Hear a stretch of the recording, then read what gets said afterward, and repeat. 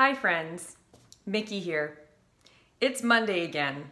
Just keeps on happening every seven days or so. And that means a few things. Number one, I am very tired. And number two, today is part five in my video series on how to cover a song. Today we're gonna be tackling how to add dynamics and interest into your performance. So this is a big topic. I'm gonna try to keep it short. My videos have been getting longer and longer and we're gonna try to avoid that today. So let's jump right in. Cheers. So what are dynamics? Dynamics simply means how intensely or loud you sing. And you can sing all the way from very whispery and quiet to very, very loud and forcefully. When I think about dynamics, I like to pull from classical music. I was trained as a classical pianist first, and they just have a very neat framework. So let's define some terms. Classical music draws from Italian for its dynamics. And I've created a little ghetto drawing here, as you can see, to assist me. And I'm gonna put up an image of a neater diagram so that you can look at that in a moment.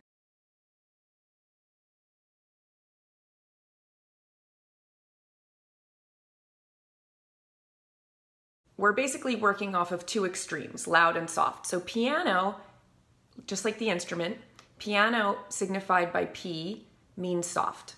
And then forte, which we abbreviate F from the word forceful, means loud. And then along this continuum, we're going from very loud to very soft. So if we start on this end, we have pianissimo, which is very, very, very soft. And then we have pianissimo, which is soft, softer than piano. Piano is soft. Then we have mezzo piano, which is eh, kind of soft, getting louder. So mezzo's like meh, kind of. And then mezzo forte, MF, is meh, kind of loud. Forte is getting louder, so loud. Fortissimo is even louder than loud. Fortissimo is super, super loud. And you can actually continue going and just stack on more Fs on this end and more Ps on the soft end. So you just keep going for infinity until your ears start bleeding and your head explodes. You see, most most blokes are going to be playing at 10. You're on 10 here, all the way up, all the way up, Yeah. all the way up. You're on 10 on your guitar. Where can you go from there? Where? I don't know. Nowhere, exactly. What we do is if we need that extra push over the cliff, you know what we do? Put it up to 11. 11, exactly. So why are dynamics important in music? The same way that we use intensity and volume variations when we talk to convey emotions, we do the same in music. So if I'm really angry, I'm going to speak in a very loud stentorian tone. I'm gonna say, Hey, why did you eat that last chocolate donut? I wanted that and now I'm gonna kill you. Are you little? On the other hand, if I want to convey something that's more intimate and I want to draw somebody in, like if I'm talking to a lover and I say, hey, guess what? I really love you, right? That kind of draws them in with this whispery, quiet tone. It creates a lot more drama and emotion than if I'm just talking in a monotone like a robot. So the same is true of singing. You don't want to have this very monochromatic performance that's going to be very boring for your audience and for you. You want to modulate the intensity and the volume and use different colors and timbres of tone to create a performance that's really alive and exciting.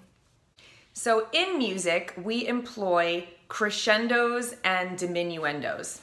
And what that looks like is like Pac-Mans, basically. So when you have a crescendo, you have a Pac-Man that's growing, so your intensity or your volume is increasing gradually. On the other side, we have our Pac-Man that's facing the other way, and this is our diminuendo. And this means that you're gradually decreasing in volume.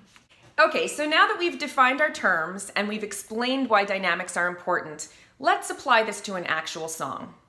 Today I'm gonna be working on an original song that I wrote when I was 13 called The Light. And the reason that I chose this song is because it has a lot of dramatic volume and intensity changes, so you'll be able to see the full dynamic range. What I do when I work on any song is I print out the lyrics and then I identify the different song parts in the form. So I know here I have an instrumental intro, then my first verse, then a chorus, then my second verse, another chorus, an instrumental solo section, half a verse, and then a bunch of choruses out to the end of the song. And I'll do another video explaining how to identify the different parts of a song form, so stay tuned for that. We're gonna go through the song and we're gonna assign a dynamic value to each of the song sections. And that's gonna start to create a dynamic map for us to create a really exciting performance. So I've got my trusty Gibson CL40 acoustic here, and I've got a D'Addario headstock tuner on there. Always make sure you tune.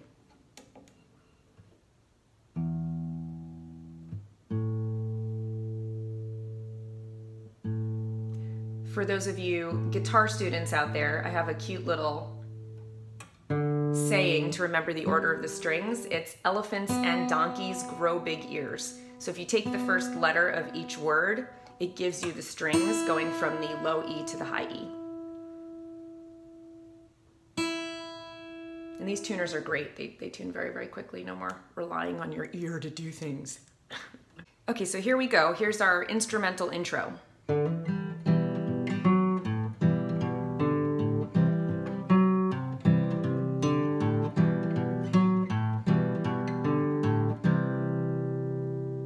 first 1.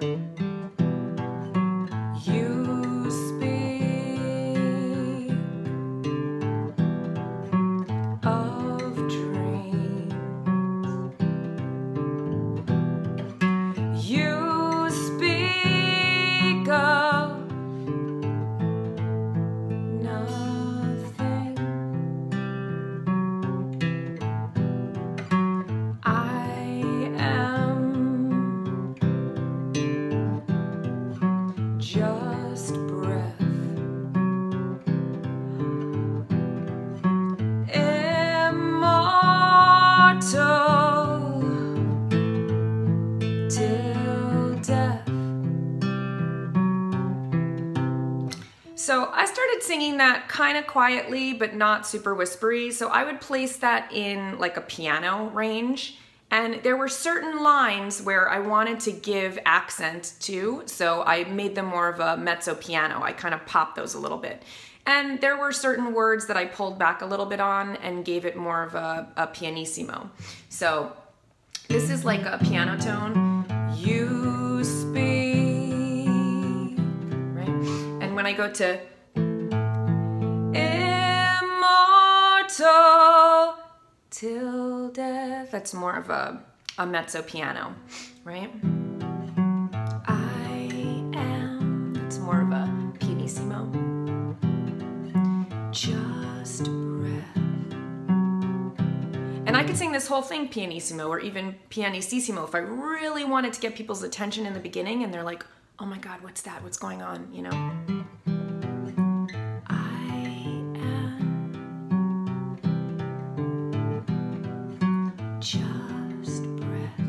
Crescendo. Immortal. Then back down to till death. And then I'm gonna get to my first chorus.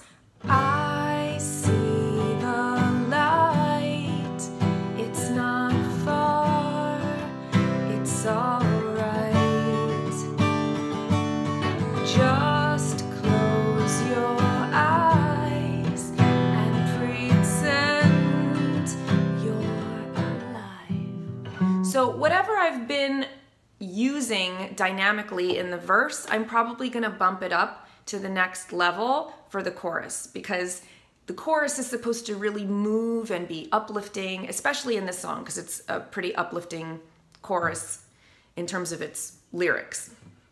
And so if I was singing in a pianissimo on the first verse, I would bump it up to a piano. If I was singing in piano, I would bump it up to a mezzo piano, right?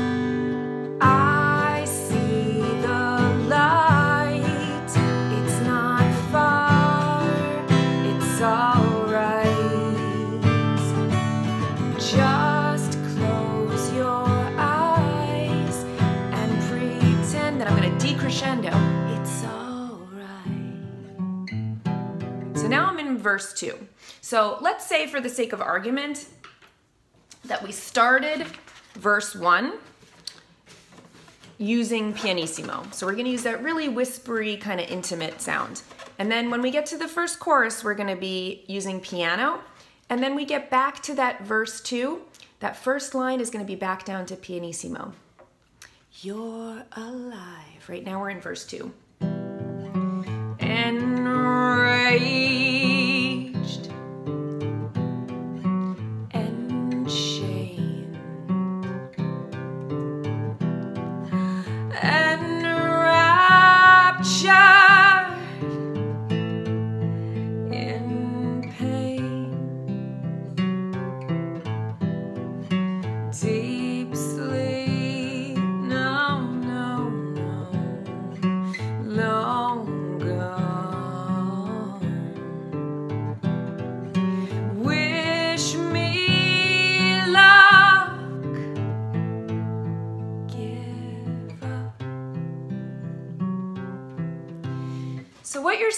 Second verse is that you don't have to just take a block of the song form and keep it all the same volume. I'm punching certain words, I'm pulling back on other words to try to demonstrate emotionally what each word means to me. So, the first word, enraged, when I'm angry, I'm gonna speak louder, right? If you stole my donut, I'm gonna yell at you. So on that one, enraged, I'm really gonna give a little bit more of a mezzo forte kind of feel, right?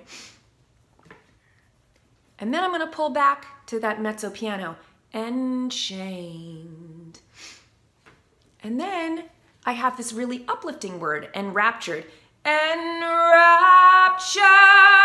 So I really want to bring up the energy to make people feel that enraptured, that bliss. So for that one, I'm to go back to mezzo forte again. And then I'm to pull back on that in pain. In pain. So I really am to do like a pianissimo just to really make interest there. And then deep sleep, no, no, no. That's more of like a piano. Long gone. Then I have another punch. Wish me luck. Give up. And another pullback. So a mezzo forte and a pianissimo. And now we're at chorus number two. And since this is our second chorus, I want to give it a little bit more volume in life. So my first chorus was at piano.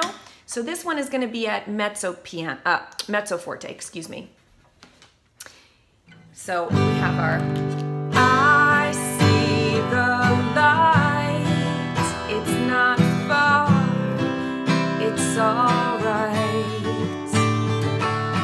Just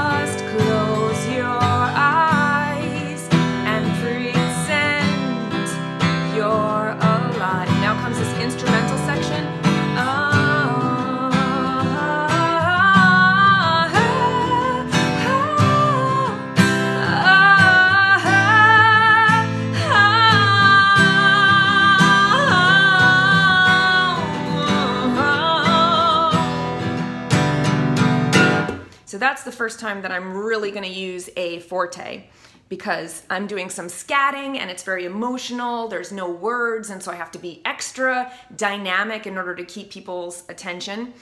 And then I'm going to pull back for my last half verse.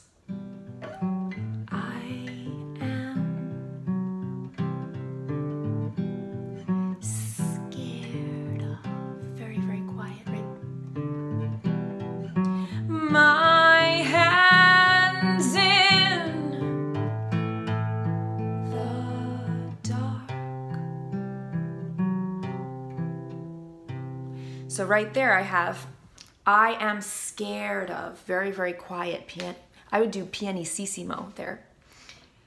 My hands in. Back to like a mezzo forte. The dark piano. And now we're gonna have our outro choruses. So this is where you're really gonna build the intensity. Our last chorus was at uh, mezzo forte. So let's start this chorus at forte and let's go all the way up to fortissimo. And then on the last line of the song, we're really gonna draw back to a uh, pian uh, pianissimo. Okay, so let's see what that sounds like.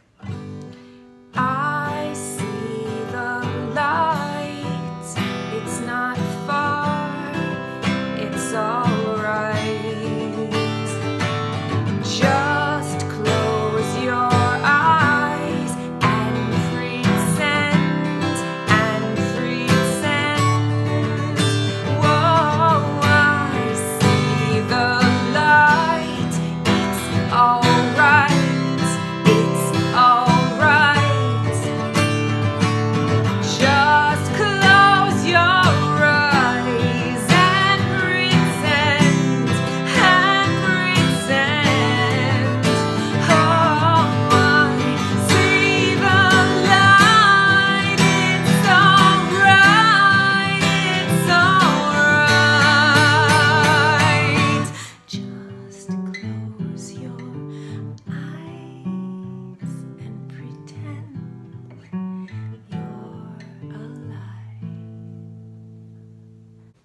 that's a technique that I like to employ to really create drama in my songs is that really stark contrast where you build and build and build and then you fall off a cliff into almost nothingness. So I actually went from like a fortissimo there to like a pianissimo. It's a very, very stark change in volume.